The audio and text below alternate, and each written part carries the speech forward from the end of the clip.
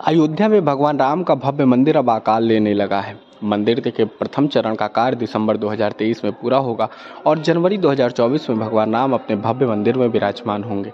ऐसे में प्रतिदिन लाखों की संख्या में श्रद्धालु अपने आराध्य के दर्शन पूजन कर रहे हैं।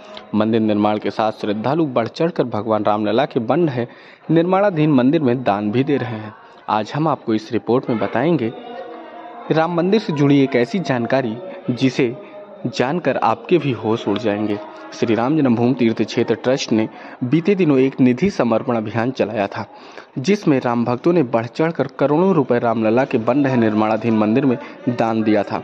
हालाँकि तीर्थ क्षेत्र ट्रस्ट के मुताबिक अयोध्या में बन रहे भगवान राम के भव्य मंदिर निर्माण में लगभग 1800 करोड़ रुपए खर्च आ रहा है।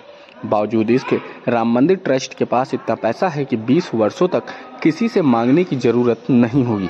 ऐसा हम नहीं, ऐसा तीर्थ क्षेत्र ट्रस्ट के महासचिव चंपत राय का प्रारंभ होने के अवसर की बात है, मार्च 2020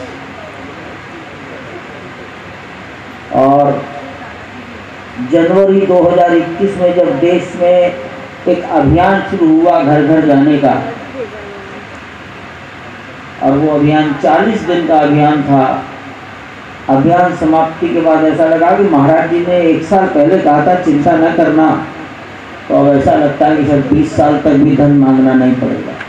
तो सवाल नहीं था, मैं धन के लिए गया नहीं था। मैं तो वैसे ही गया था। जाता रहता था। वो कहते, चिंता ना करना, अपने आप आ जाएगा। ऐसी